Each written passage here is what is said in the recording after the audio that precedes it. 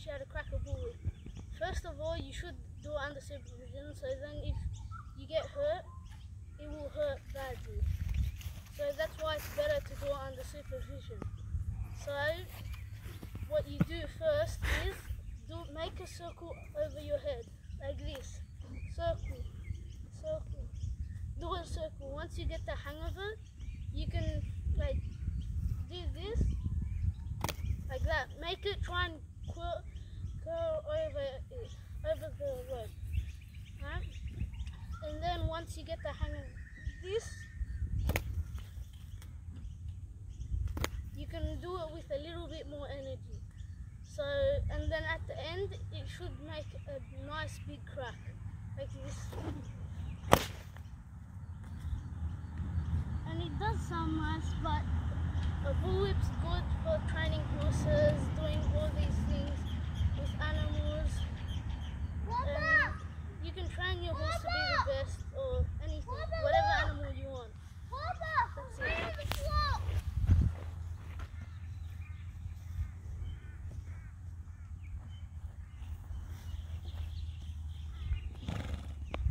Is that horse good with bullwhips?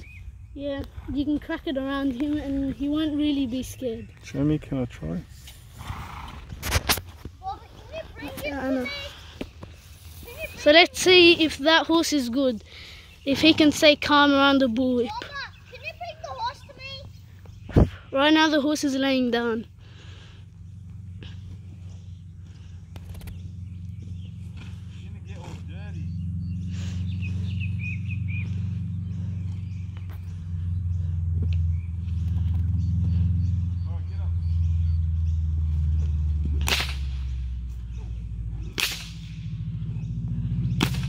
That horse is very calm with a bullwhip. As you can see, he's not really moving.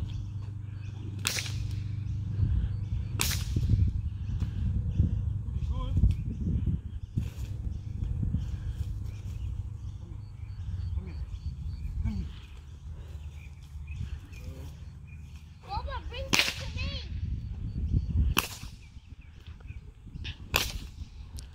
Baba, bring him to me.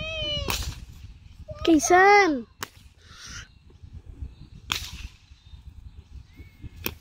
Baba, Baba, bring him to me. This horse, if you crack a whip, if you crack a whip around the horse a lot, the horse will get used to the whip.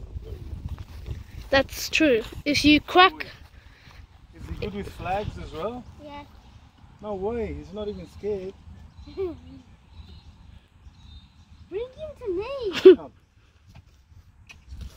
Okay, see the flag, see, is he scared? Wow.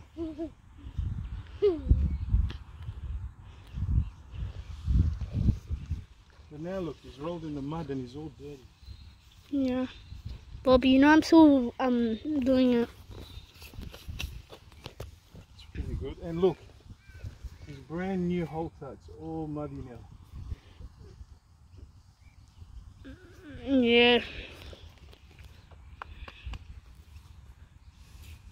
You have to wash him when you get home.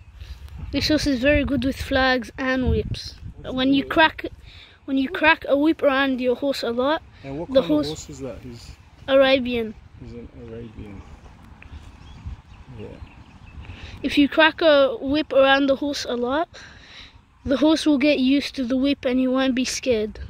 So that's why you should train your horses with a bullwhip.